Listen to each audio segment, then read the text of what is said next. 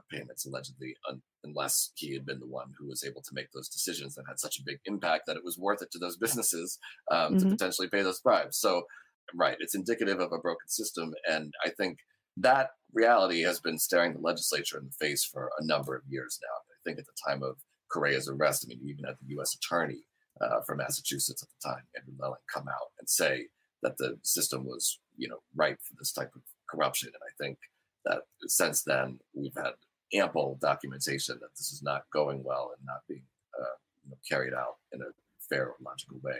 I don't know what the solution to that is, but it does seem very obvious that there's an issue here. And um, I, I, think there's growing impatience among people about the legislature's failure to, uh, so far, uh, to deal with it. Of course, in April we had 420. For the first time, we were not completely locked down. Um, there was some events, sort of spaced out, masked events happening in Boston at the time.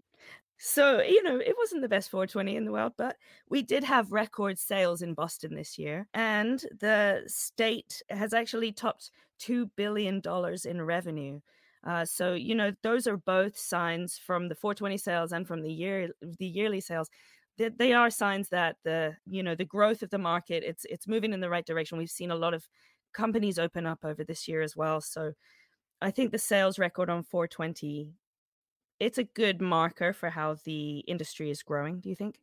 Yeah, absolutely. The industry is getting a lot bigger. The Cannabis Control Commission has definitely picked up its pace of licensing over the past couple years, so that pipeline just feels a little wider. It feels like you know almost every week, every other week, they're sending off a flurry of tweets uh, telling us which companies are the latest to have been approved to actually open for business. Um, and you know, when, when, we did that five-year anniversary story uh, a month or so ago that you mentioned, one of my colleagues made a little animated map, and you can watch all the different marijuana facilities sort of it's pop so up cool. on the map of Massachusetts. Oh my god, I stared at that thing. So I hit uh, a, I hit a blunt, so cool. and I stared at that, and I was like, oh, "This I is amazing." I didn't say that just for the record, but I'm glad that you enjoyed it that map, you can see it, right? You can see the acceleration in those dots, you know, exploding all over the map, right? At first, it's a trickle, but now that pace has really picked up. Now, that said, um, I don't think the industry has reached anywhere close to its full maturity. I think we're going to see, you know, a lot more retail still to come. And I think that there's going to need to be a, a, still a rather large increase in supply to feed, mm. so to hmm. speak, uh, all those stores. Um, I think one of the reasons that we're seeing the persistence of such high prices at dispensaries in Massachusetts uh, is fundamentally just an issue of supply. There's a relatively small handful of mostly vertically integrated companies that are producing the bulk of the flower uh, that's available at wholesale right now. Hmm. And uh, you know, if you are the owner of an independent retail store that doesn't grow your own cannabis, your options for which brands you can carry on your shelves are uh, really quite limited. And uh, by the time you add a markup to that, that you know doesn't add up to a very impressive market for the consumer. So I just hear all the time from people about how frustrated they are with the poor selection uh, at Massachusetts marijuana stores and also the high prices. And um, so and those, the market those... is growing, but you know not maybe as large as as some consumers would like to see it grow. Definitely, and and those high prices they still drive a lot of people to the underground market. Uh, one of your reports said 68% of sales are estimated to be still on the underground market. That's an in- incredibly high number. Is it, do you put that down to the prices?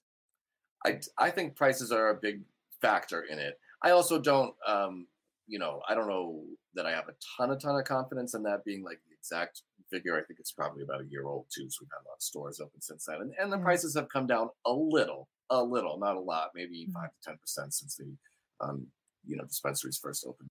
So I think that you know, again, the increasing competition, the prices coming down, it will draw more people into the legal market. So I don't know, is it 68% today? It's probably not mm, quite that bad, but yes, price is a huge factor in that. But I also think that there's consumers who are willing to pay for the reassurance that the product has been tested and mm-hmm. produced by somebody licensed and reputable who you know didn't say oh crud there's a bunch of bugs on my cannabis at the last second before harvest and just spray it down whatever pesticide in their closet in Allston yeah. Um, you know, so I, I don't know. Speaking I, I from experience, there, Dan. I, have I've I've seen some places in Allston that you know I, I, there's, I've got some stories from my previous. Oh, we'll, we'll talk that. about that another we'll time. so this year we have seen a huge uptick, as you were saying, in the licensing process. We have gone from at the beginning of the year we had 97 retailers, and now we've got 176. So you know that's almost a 100 percent increase in the number of retailers that we have across Massachusetts. That's an up of 79. We've also seen a slight uptick in the number of product manufacturers. At the beginning of the year, that cool little map that your colleague did said that we had 38 product manufacturers. And at the end of the year, we have 53. So we've gone up by 15. It's a respectable number, I think, for manufacturers. Mm-hmm. Um, and for cultivators, we've gone from 44 at the beginning of the year to 60 at the end of the year. So that's been an increase of 16 cultivators. And we've also had an addition of four independent testing labs. We initially just at the beginning of the year had three in the whole state, and now we have seven.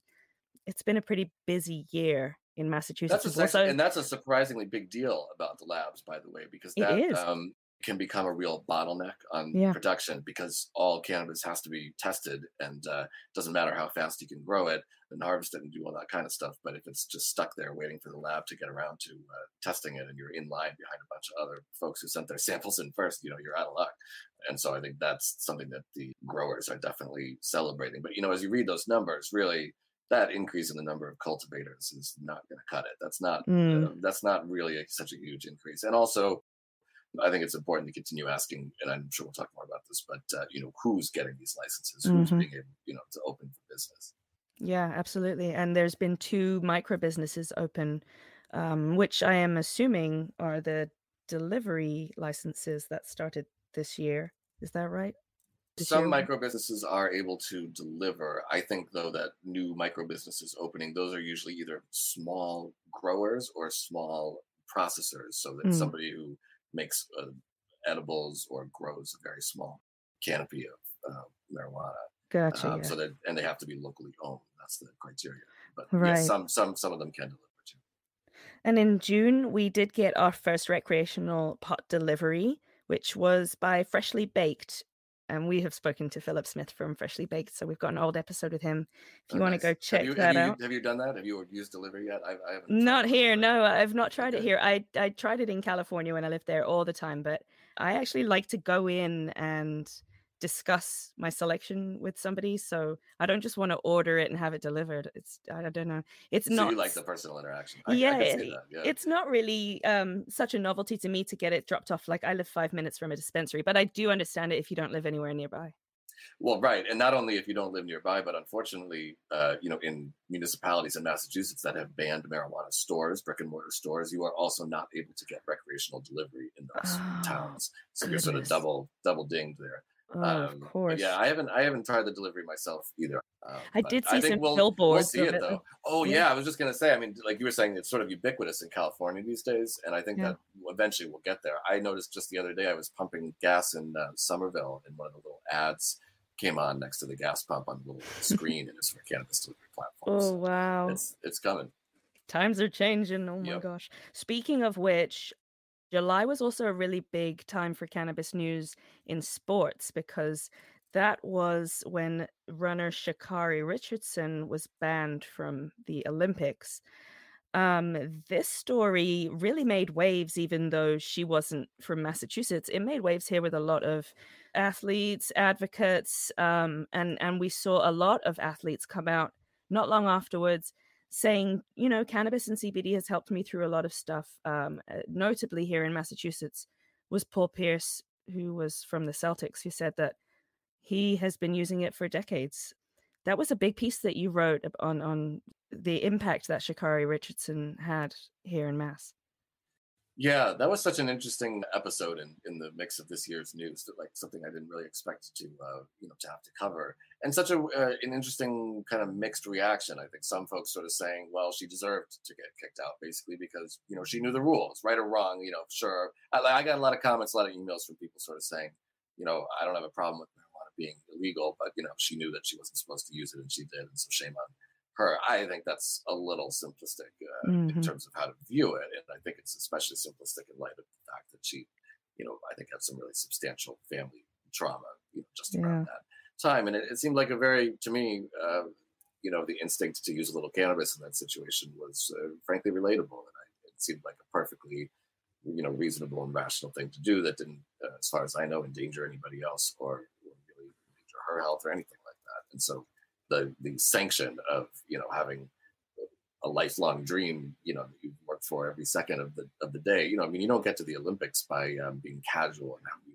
eat, yeah. how you take care of your body, things like that, right? So and it I comes around every four years. Uh, I assume if Sha'Carri Richardson, uh, you know, has incorporated cannabis into her routine, it's it's working with whatever you know she's doing athletically because yeah. right. she's going to be in the Olympics, right? So that was the other half of the reaction was folks sort of agreeing that um, you know the rest of us had no right to you know, tell her what to ingest mm-hmm. or, or uh, you know how to treat her her pain. So definitely a, a, a complicated chapter there. But I think if anything good came out of it, I do think that now the sports authorities are going to take a closer look at those rules and whether they're really warranted, you know, serving any good.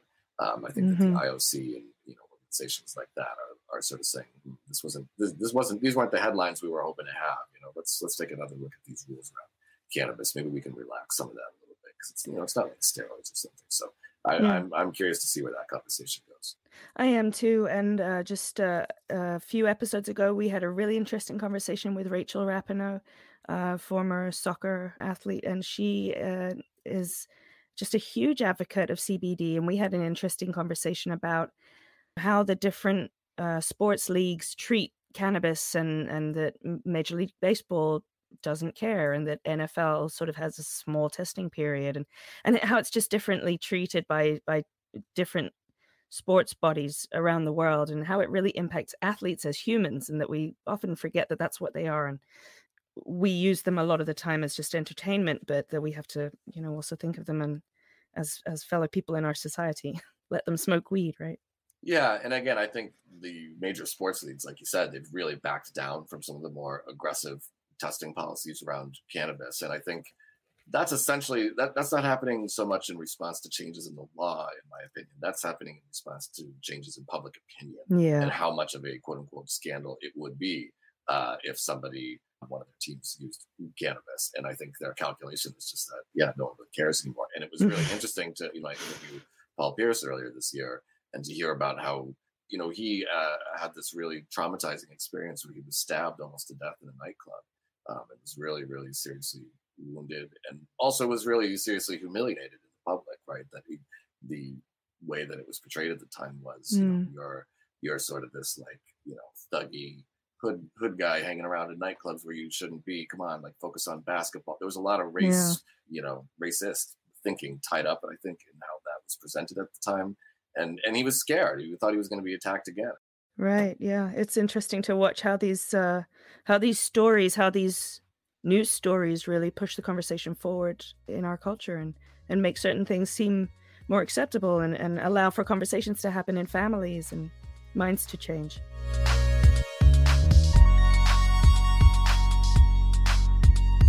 All right, we are almost halfway through. Oh no, we're more than halfway through the year. We're on to August.